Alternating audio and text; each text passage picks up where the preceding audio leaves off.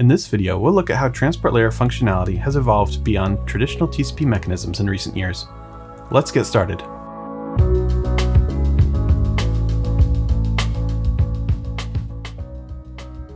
TCP is used today in many environments for which it was never intended, which has resulted in it being continually developed over time in order to meet new challenges. And today, some of that development has left TCP behind and adopted reliability and congestion control mechanisms on top of UDP, so in this video, we'll look at some of this development. Keep in mind that TCP and UDP have been the principal transport protocols of the internet for about 40 years. Over that time, there have been many variants of TCP that have come along to meet certain challenges. Some of these include long fat networks, meaning high bandwidth networks with high delay. By the time the sender is aware of a loss, it has many packets which it needs to retransmit, and it must start slowly again, causing the pipeline to sit idle for a significant period of time. We also have the prevalence of wireless networks wireless networks are much less reliable than wired networks, and so they lose packets or corrupt packets on a regular basis. And this has nothing to do with congestion. However, TCP treats all loss as due to congestion. So there have been variants of TCP designed to distinguish between loss due to environmental challenges versus congestion loss. There have also been developments for long delay links, such as satellite links. Data center networks and introduce a number of challenges which were not anticipated in the early days of the internet, as do the idea of low priority background flows. Those have all been addressed by TCP variants, but recently we've also seen the latest version of the HTTP protocol moving to re-implement some of the features of TCP on top of UDP. This is known as the QUIC protocol. The primary development driver here is Google, hoping to increase the speed at which web pages can be loaded for consumers. So where HTTP2 combined with TLS used TCP over IP, HTTP 3 is a combination of the HTTP2 directives with the QUIC protocol running over UDP.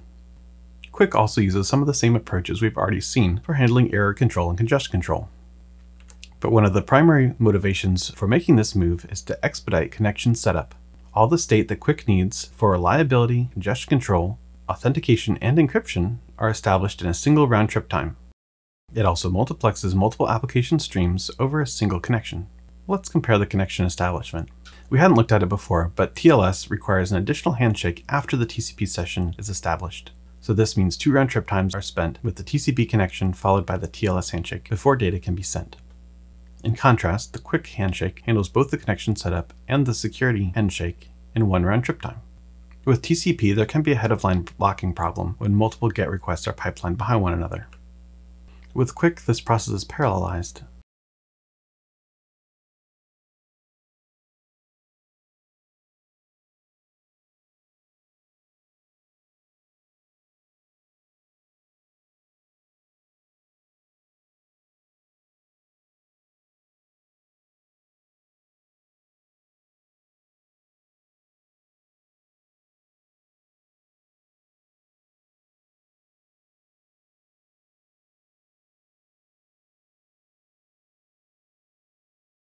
which means that an error in the reliable data transfer doesn't have to hold up other requests from being delivered. This brings us to the end of chapter 3, which has been all about the transport layer. To quickly summarize, we've looked at multiplexing, demultiplexing, reliable data transfer, flow control, and congestion control, and the specific ways in which these services are instantiated for Internet protocols. Next, we will transition to looking at the network core. And the network layer itself is divided into two chapters. First, we'll look at the data plane, followed by the control plane. So in the next video, we'll begin looking at chapter 4 about the data plane. See you then.